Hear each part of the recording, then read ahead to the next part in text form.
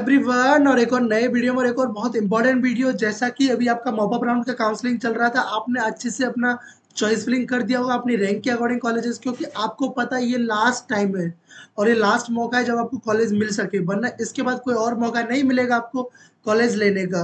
आप देखो, आज आपका लास्ट डेट है, देखो साफ़ साफ़ पोर्टल ने भी अपडेट कर दिया मॉपअप राउंड प्रोसेस प्रोसेसिंग में है लास्ट डेट आठ दिसंबर। और आज आपके शाम के पाँच बजे से पहले आपको अपना चॉइस लिंक कर देना है। उसके बाद में कोई मौका नहीं मिलेगा। इस वीडियो का मेरा बनाने का पर्पज़ यही था, क्योंकि मैं आपको रिमाइंड कर सकूँ और कुछ चीज़ें और बताने वाला हूँ उनको ध्यान से सुनना।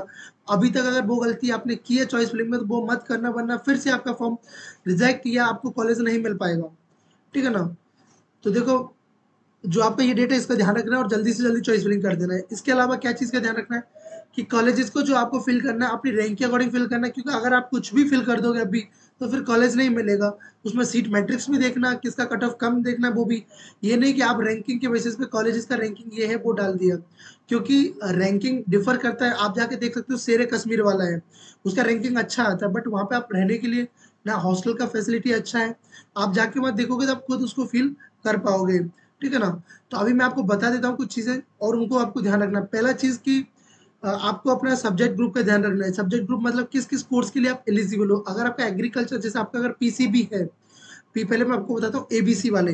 अगर एबीसी तो आप एग्रीकल्चर हॉर्टिकल्चर एबीसी का मतलब है एग्रीकल्चर बायोलॉजी केमिस्ट्री अगर आपका था, जिससे आपने एग्ज़ाम दिया है तो आप एग्रीकल्चर हॉर्टिकल्चर फॉरेस्ट्री फिशरीज और नेचुरल फ़ार्मिंग ये पाँच कोर्सेज के लिए एलिजिबल हो।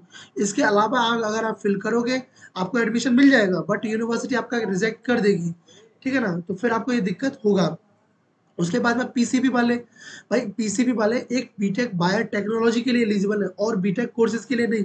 कुछ भी डाले जा रहे थे। कल भी मैंने जब कुछ स्टूडेंट जब मेरी पर्सनल काउंसलिंग में ज्वाइन हुए थे तो सर मेरे ये ये चेक करना काउंसलिंग वो प्रेफरेंस लिस्ट तो उसमें देखा है कि वो ए बी से था। ए बी सी से था, वो भी कम्युनिटी साइंस भरे जा रहा था। बीटेक एग्रीकल्चर इंजीनियरिंग भरे जा रहा था। तो भाई उनका कुछ नहीं हो सकता, ठीक है ना? अगर आप ऐसा गलती करोगे तो।